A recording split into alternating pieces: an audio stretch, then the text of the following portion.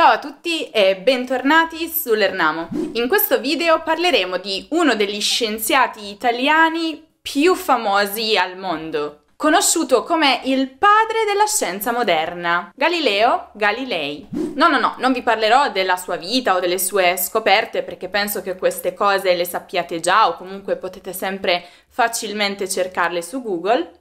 Voglio invece parlarvi di qualche curiosità su di lui, Qualcosa che forse ancora non sapete e che potrebbe sorprendervi. Cominciamo!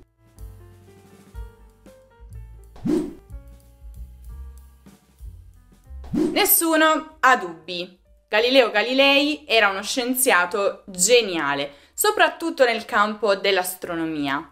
Ma essere molto bravi in una cosa non significa necessariamente che la si sappia spiegare agli altri. Infatti, a quanto pare, Galilei non era molto bravo a insegnare le scienze in cui eccelleva.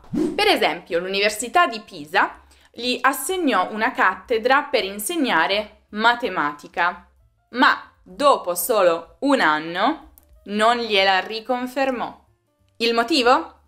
A quanto pare le sue lezioni erano troppo complicate da seguire per gli studenti e anche i suoi colleghi trovavano estremamente difficile lavorare con lui. Galileo era perfettamente consapevole del grande rischio di plagio dei suoi studi. Perciò aveva trovato un modo ingegnoso per proteggere le sue scoperte. Le scriveva sotto forma di anagrammi, spesso in codice.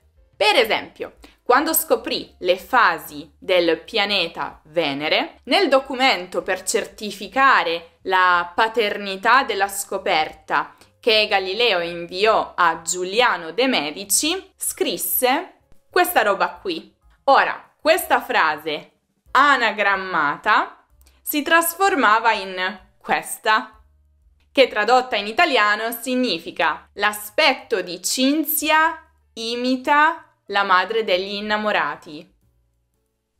Cinzia inteso come Venere e la madre degli innamorati inteso come la Luna. Pensate poi che lavoraccio per Giuliano de Medici che poi doveva decodificare tutto per capire il messaggio. La scienza però non era l'unico campo nel quale Galileo aveva un particolare talento. Infatti ce l'aveva anche nella musica, perché Galileo era anche un abile liutista. Infatti suo padre Vincenzo era un compositore e un teorico della musica. Quindi fu proprio lui a insegnare a Galileo a suonare il liuto. Una delle scoperte più famose di Galileo Galilei è quella dei quattro satelliti maggiori di Giove. Eppure, per molto tempo, si pensò che quella scoperta fosse di un altro, l'astronomo tedesco Simon Marius. Perché c'è stato questo grande malinteso? Perché i due scienziati avevano documentato la stessa scoperta a distanza di pochi giorni. Marius il 29 dicembre 1609 e Galileo il 7 gennaio 1610, praticamente 10 giorni di distanza. Però chiaramente i numeri parlano chiaro e quindi la data di Marius è antecedente e per questo per lungo tempo si è pensato che lui avesse scoperto i satelliti prima di Galileo. Ma poi è venuto fuori che Galileo usava il calendario gregoriano, mentre Marius quello giuliano. Adattando quindi la scoperta di Marius al calendario gregoriano, la data cambia e infatti la data della scoperta di Marius risalirebbe così all'8 gennaio 1610 esattamente un giorno dopo rispetto alla scoperta di Galileo. E quindi Marius ha perso il primato, insomma. Pensate un po', per un giorno di distanza e per una confusione con i calendari. Oltre a diversi strumenti scientifici, Galileo è anche il padre di alcune invenzioni particolari, come un raccoglitore di pomodori. È una combinazione di candele e specchi che serviva a deviare la luce attraverso i corridoi.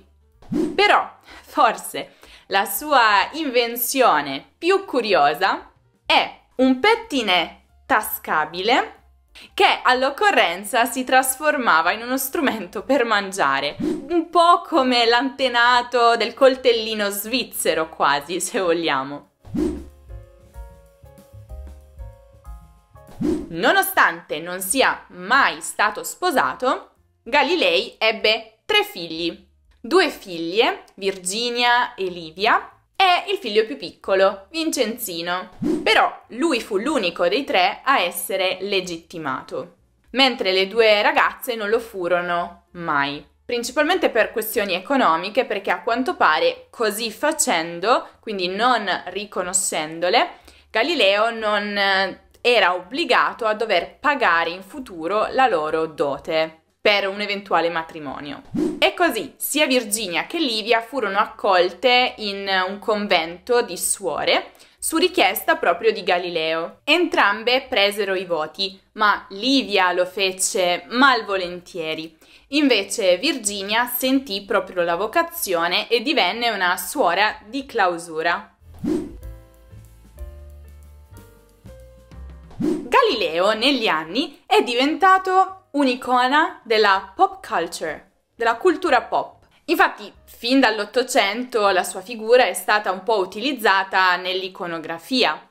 Ma la cosa più interessante succede nel Novecento, quando la sua figura viene utilizzata nelle pubblicità, nelle campagne promozionali di moltissime aziende. Si poteva trovare su quaderni, figurine, tappi delle bottiglie di Coca-Cola, etichette di bottiglie di brandy e persino nella pubblicità delle gomme Pirelli. E non è tutto in realtà, perché anche la compagnia Campari, per promuovere il suo bitter, ha deciso di utilizzare la figura di Galileo, in particolare sui cartelloni pubblicitari. L'immagine più frequentemente utilizzata in queste pubblicità è il volto di Galileo, quello derivato dal famoso ritratto dipinto da Sustermans e poi copiato da altri artisti che ne erano ispirati dopo aver visitato gli Uffizi, luogo appunto in cui il quadro si trova. L'esperimento più famoso di Galileo Galilei è sicuramente quello della torre di Pisa. Si racconta infatti che Galileo salì sulla cima e lasciò cadere giù due palle di cannone di diversa massa per dimostrare come la velocità di caduta è indipendente dalla massa del corpo. Cose tecniche. Però in realtà la maggior parte degli storici è d'accordo nell'affermare che Galileo probabilmente non è davvero salito sulla torre di Pisa con due palle di cannone. La maggior parte degli storici pensa che si sia trattato semplicemente di un esperimento mentale, quindi tramite calcoli e non fisico. Un'altra teoria molto famosa formulata da Galileo è quella del pendolo e della sua oscillazione. Ci arrivò osservando a lungo un lampadario nel Duomo di Pisa.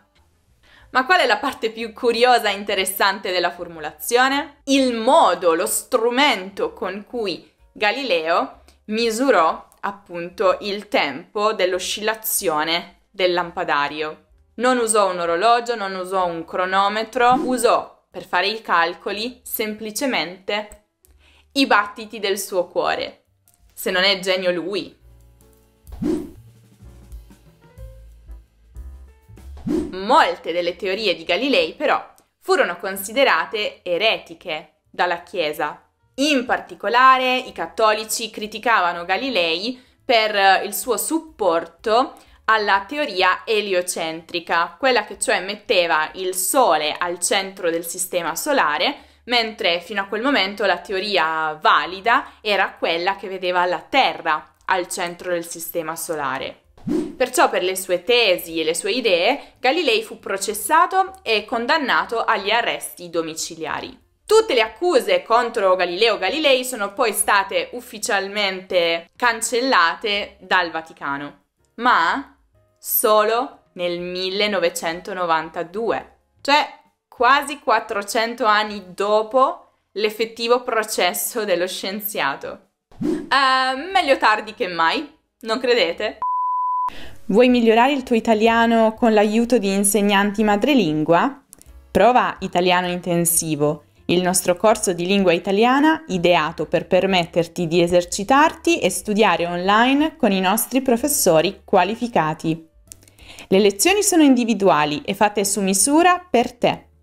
In più ti offriamo la massima comodità possibile. L'orario e il giorno delle lezioni lo scegli tu. Scopri di più. Clicca sul link che trovi in descrizione e inizia a studiare con i nostri insegnanti. E voi siete dei fan di Galileo Galilei? Conoscete un po' il suo lavoro, la sua vita? Conoscevate queste curiosità? Sinceramente io non le conoscevo tutte, quindi mentre facevo le mie ricerche per questo video ho imparato anch'io qualcosa. Fatemi sapere tutto questo nei commenti, fatemi sapere anche se vi piace questo genere di video sulle curiosità riguardo una importante figura della cultura, della storia italiana. Se invece volete scoprire delle altre curiosità su un'altra grande figura fondamentale della cultura italiana, il caffè, potete guardare il video dedicato proprio a lui, al re della pausa italiana. Lo potete trovare qui in alto nella card o giù nella descrizione. Se invece cercate un qualsiasi altro argomento di grammatica o di cultura italiana potete visitare il nostro sito lernamo.com. Seguite l'Ernamo anche su Instagram, su Facebook, su Twitter, su Pinterest, su TikTok e su Telegram dove vi aspettano tanti contenuti esclusivi, pillole di italiano quotidiane e se il video vi è piaciuto lasciate tanti mi piace, iscrivetevi al canale se ancora non lo avete fatto. Io vi aspetto prestissimo con un nuovo video.